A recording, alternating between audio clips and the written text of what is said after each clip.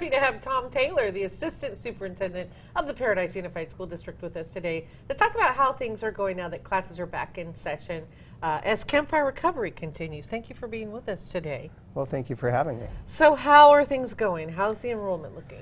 You know, it's off to a great start this year. Um, our enrollment is considerably higher than what we were anticipating, about 400 more students, but that's a nice problem to have. It, it sends a great message to our community that uh, things are kind of returning to normalcy a little bit.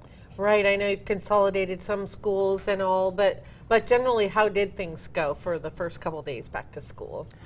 You know, when you have that many students, there's always some adjustments you make, but the teachers worked really hard and the staff worked really hard to have classrooms ready for the kids.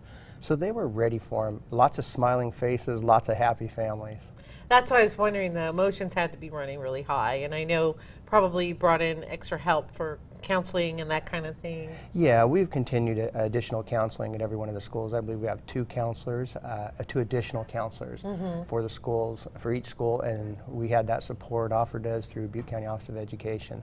So there's been a lot of people. We also have different programs running to support the kids, a lot of art therapy uh, and things like that that will just support their social emotional well well-being.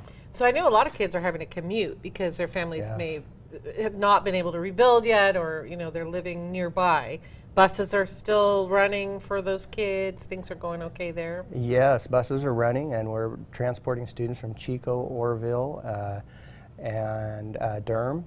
And we have about 800 students registered to ride the bus. So more than we, you know, that once again more students than we anticipated. But uh, our transportation director has done a tremendous job. Good, good. I know, of course, Friday night was a big moment for uh, the schools, everyone who goes there with the football game, right? You know that that was a, that was a great um, thing to return to the ridge. You know, you saw so many people who have left the ridge return. There was about 5,200 people, we believe, total, and just a real positive uh, positive evening for the kids, the fa- and the parents. Right, So- right. Everybody's looking forward to it.